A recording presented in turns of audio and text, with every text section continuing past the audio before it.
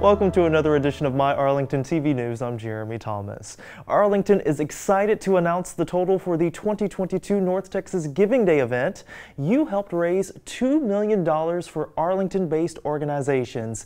Thank you so much to everyone for your kind and generous spirit.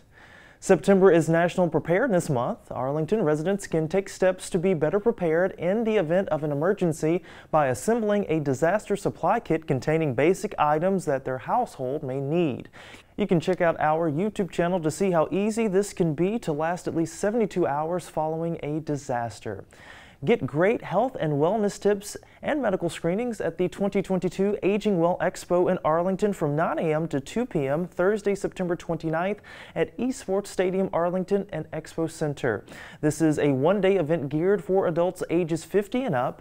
This year's keynote speaker is Cowboys legend and Pro Football Hall of Famer Drew Pearson, speaking on behalf of WellMed, one of the Expo's generous presenting sponsors.